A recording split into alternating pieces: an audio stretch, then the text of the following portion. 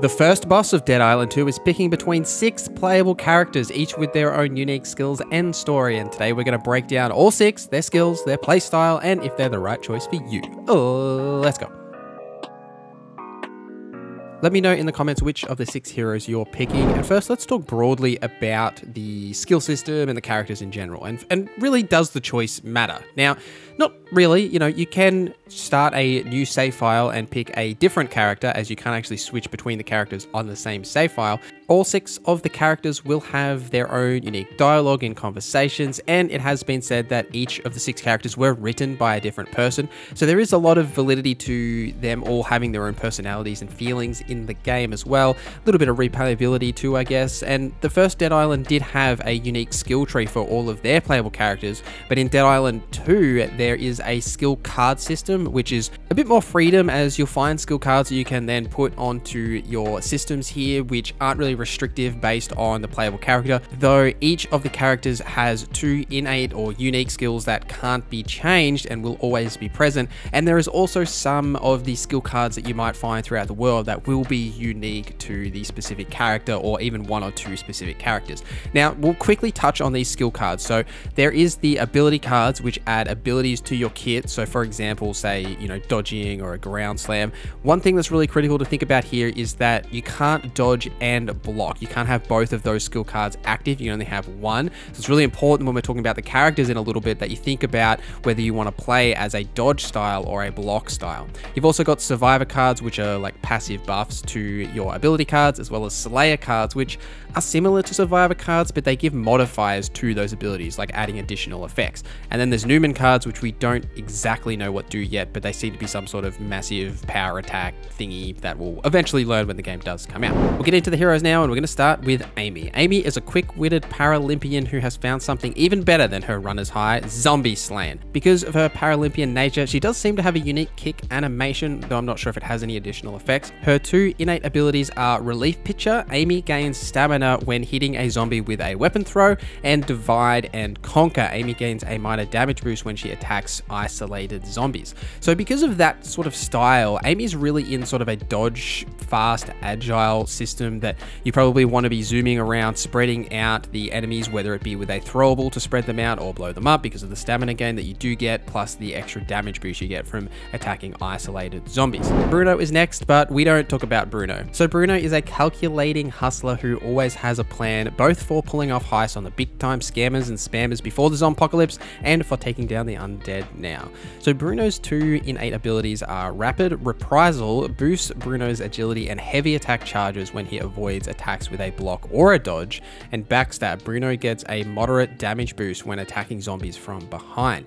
So Bruno, I think, will see a lot of play in co-op play where you can have enemies, say, attacking your allies, and then you can attack from behind because of that backstab ability. That will become important in single player as well. It's just obviously harder to backstab every zombie because they're always going to be attacking you, but you know, you can stealth behind them, run up to them, all of that sort of stuff. But the other skill I think will see Bruno have a bit of flexibility because of the buff from rapid reprisal on either block or dodge. You don't have to necessarily pick one or the other. And for heavy attacks, which will be important for say a slower, more like maybe not tanky, maybe a little bit stealthy because of the behind damage, but you've got a bit of flexibility in terms of attacking from behind or from heavy attacks.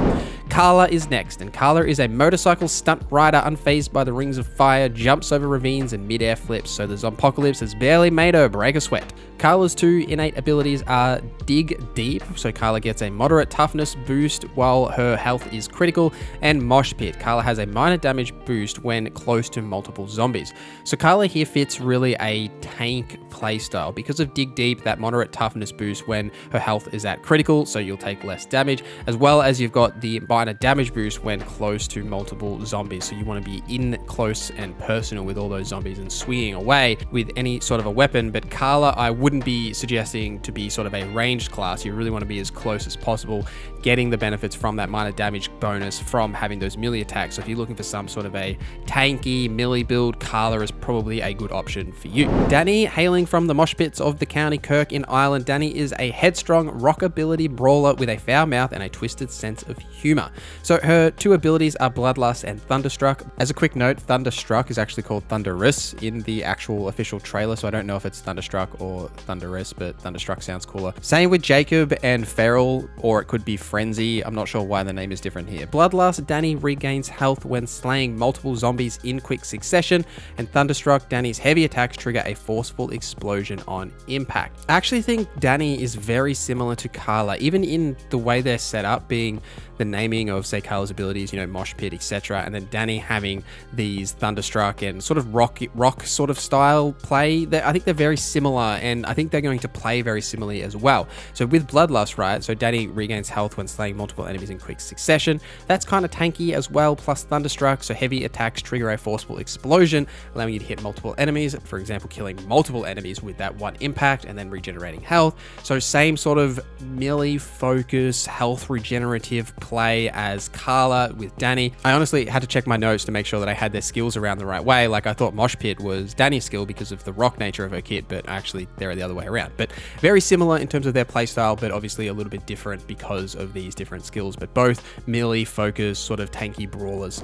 Jacob is next. Now he's the cover boy, the one you would have seen on the cover art for the game. And Jacob is an anti-hero with a rockstar flair. Jacob's offbeat charm is paired with his reckless disregard for self-preservation. The two innate abilities, so first is Feral, Jacob gets a stackable minor damage boost when attacking in quick succession and critical gains. Jacob gets a moderate critical damage boost when his stamina is low and critical hits regain stamina. Jacob players are going to want to use some of the lighter, faster melee weapons in the game to get that feral off. So getting a stackable minor damage boost when attacking in quick succession. The faster you attack, the more likely you are to trigger that damage boost. Plus also having some sort of a critical focused build because of the damage boost you get when your stamina is low. So having critical damage as a plus for this character is important for Jacob, plus using the light sort of weapon style. And you probably be in a dodge sort of a format with Jacob, you know, say for Carla and Dani, you'd be blocking more or less, and Jacob's more of a dodge, faster style character. Ryan might be last on our list, but there's more to this exotic dancer than Ripple and Pex. Ryan has a stubborn streak, a mile wide, pessimistic sarcasm as dry as the Sahara, and an indomitable heart. Ryan's first ability, Retaliation, Ryan gains moderate forced boost when using block or dodge to avoid an attack.